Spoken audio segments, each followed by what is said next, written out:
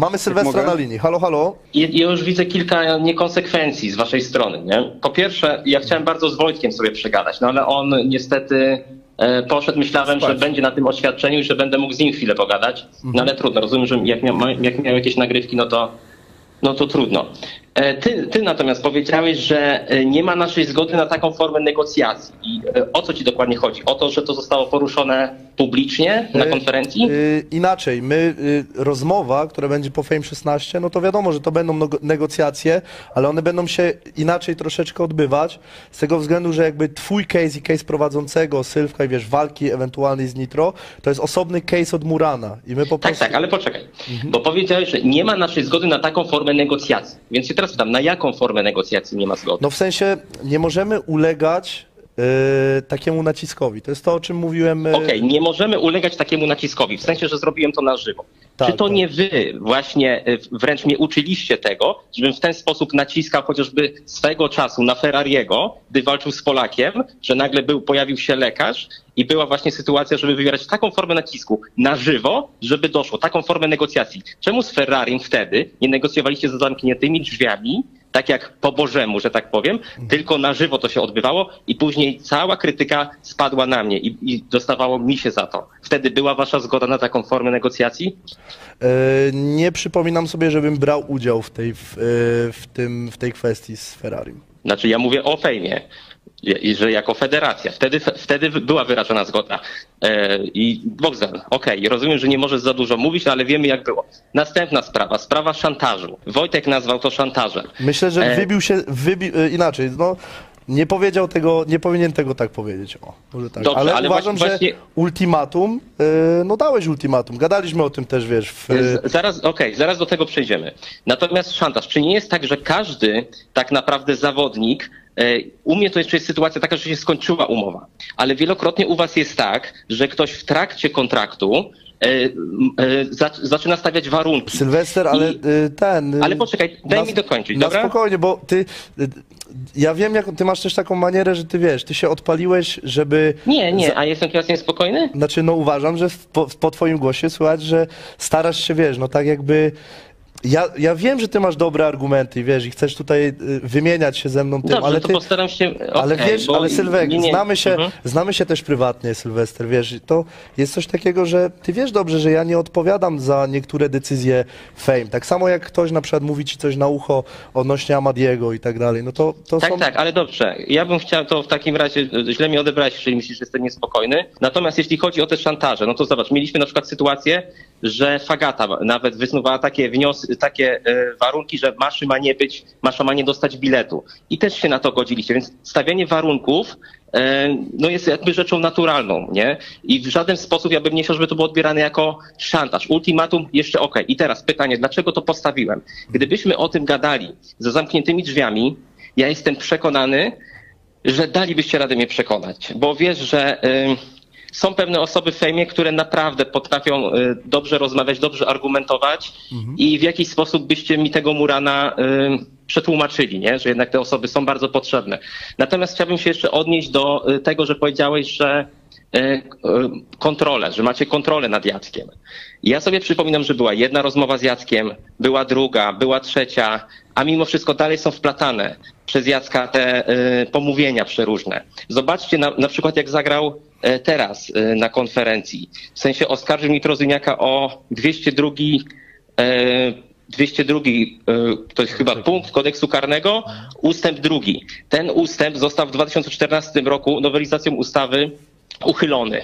I teraz tak, pomówił Nitrozyniaka o coś, ludzie sobie wejdą, wygooglują, zobaczą, że chodzi o pornografię, znowu na Nitrozyniaka się wyleje e, pełno hejtu, a finalnie Nitrozyniak nie będzie mógł nic zrobić Muranowi, bo Muran oskarżył go o coś, co już nie istnieje w kodeksie karnym. I w ten sposób Muran to ogrywa. A wy jako federacja się po prostu przyglądacie, nie? I ja po prostu uznałem, że czas powiedzieć stop temu. Natomiast właśnie teraz wszystko zależy od Roberta. E, Koniec wieńczy dzieło i e, zobaczymy, czy Robertowi się uda to zakończyć. Ale i jeszcze na koniec chciałbym wam poruszyć taką kwestię, bo rozmawialiście o tym populizmie. E, I ja też fajnie spędziłem noc z, z Robertem, jakkolwiek to brzmi. E, sobie pogadaliśmy i chciałbym na przykład zadać takie pytanie, skorzystając z tego, że jest Mandzio i jest Robert. E, I mówiliście właśnie o tym populizmie, że e, twórcy mówią to, co wypada, co jego widzowie oczekują. I czy na przykład Robert, i fajnie jakbyś był szczery, nie? Właśnie, żebyś był taki szczery, jak byłeś w tej rozmowie ze mną. Czy, I też pytanie do Mandzia, czy nie było tak, że w momencie, kiedy Abstra było na szczycie, to pamiętam właśnie, że, i, że przychodził y, mm, Mandzio, to był chyba program mniej więcej.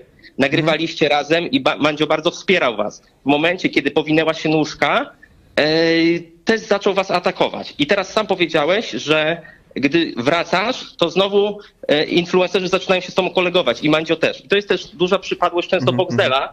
Jakby Boxdel... y, nie chcę cię atakować, ale wiesz, że tak trochę jest. No bo tak, Ale jak? tak Bo ja, to, to jest... Dobra, to dobra, jest... poczekaj, bo to pytanie jest- do Roberta i tego, a Dobrze, wy, wy najpierw- to macie, się kłócicie cały czas. Dobrze, dobrze. No to y, może odpowiedzcie sobie najpierw. Robert, ty pierwszy, ja pierwszy? Ale, ale, ale to jest a propos tego To, tematu, to, to, to tematu ja, mogę pierwszy, że... Bo nie, bo tak, Sylwek Ke- mówi, jest- że, za, że za czasów tak. mniej więcej właśnie było tak, że krosowaliśmy się z każdym i kumplowaliśmy się z każdym i blisko się trzymaliśmy tej YouTube'owej sfery, a później jak Abstra podupadło, to się od tego odciąłem i również krytykowałem.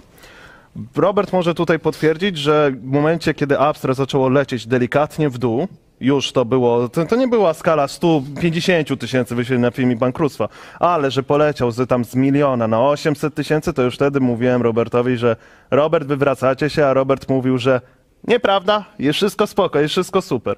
A później po prostu kwestia wynikała taka, że nie miałem kontaktu z nikim.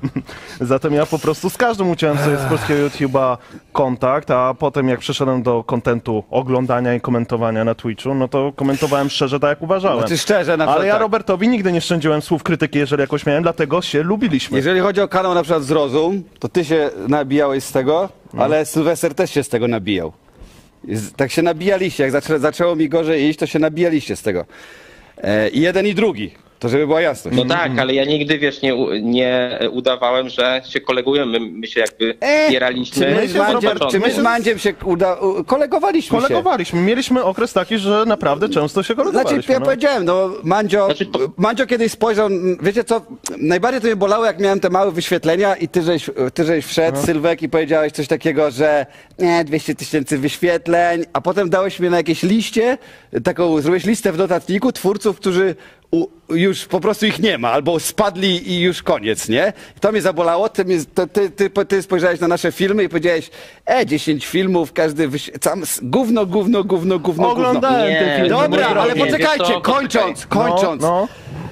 Czy już nie możemy się przyznać, że tak to po prostu jest? Że my troszkę jesteśmy jak tacy koledzy, taka jakby szorstka powiedzmy znajomość, że jak i, i że troszeczkę się do siebie zbliżamy i se gratulujemy, jak nam dobrze idzie, a jak źle, to się przyszczypiemy. Ja nie mam z tym żadnego problemu, bo dla mnie nie ma przyjaźni. A ja nie nie ma zaprzeczam, przyjaźni, ja nie tak szukam, jest. ja nie szukam przyjaciół, ja nie szukam tutaj miłości, ja mam gdzie indziej to wszystko.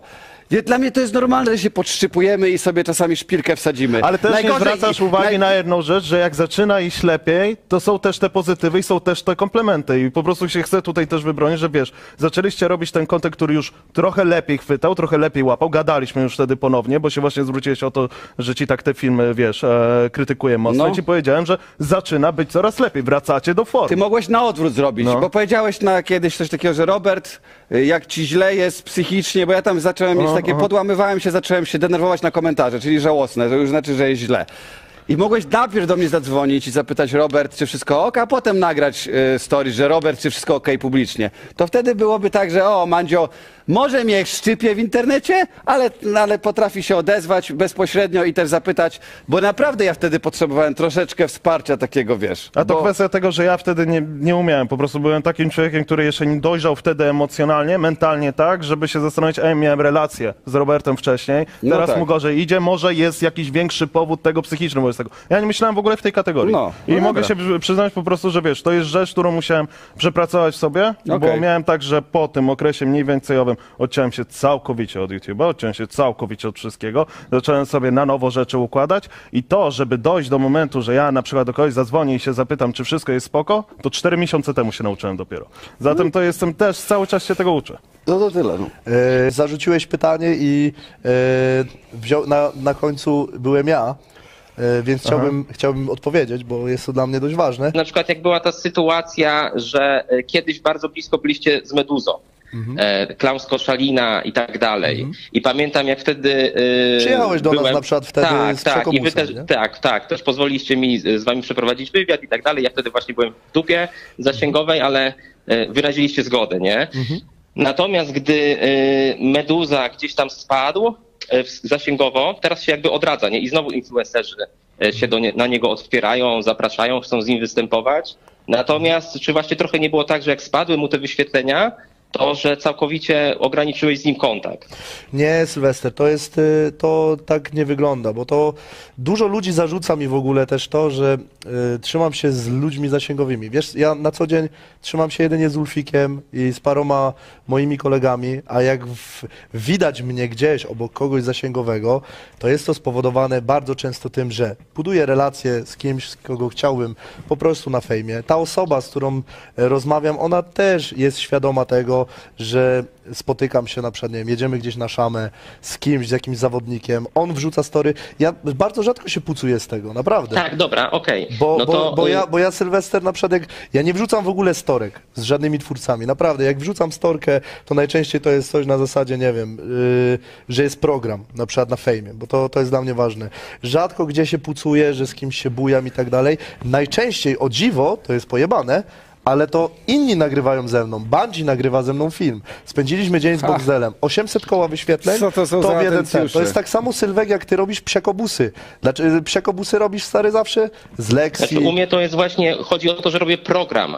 Natomiast ty często pokazujesz, tak jakby ci twórcy byli twoimi e, mega dobrymi ziomkami. Czy- Czyli ty nie robisz programu, że odcinek, tylko wiesz, naprawdę się z nimi spotykasz, kiedy ktoś ma dobre zasięgi. Na przykład przykład Japczana. Tam nawet mówiłeś, że to nie jest spotykanie się pod walkę, tylko że naprawdę złapaliście przyjaźń i wspólny język. Natomiast gdy się Japczanowi powinęła noga, ja już go nie widzę u siebie nigdzie. Yy, tylko, że z Japczan no, nigdy nie był u mnie widoczny, prócz jednego programu aferkowego.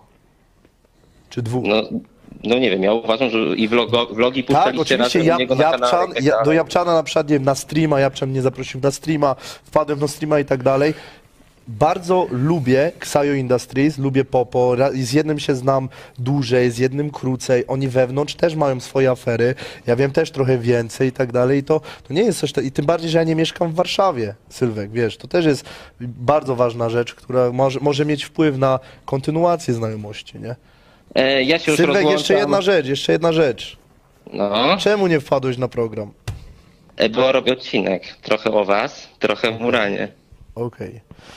No dobra. Jeżeli odebraliście, e, że jestem bardzo zdenerwowany, no gdzieś ta sprawa jednak działa na mnie emocjonalnie, być może ten mój głos był trochę taki e, roztrzęsiony. No, to, to rozumiem, ale y, ta, ta akcja z tymi influencerami i tak dalej, to.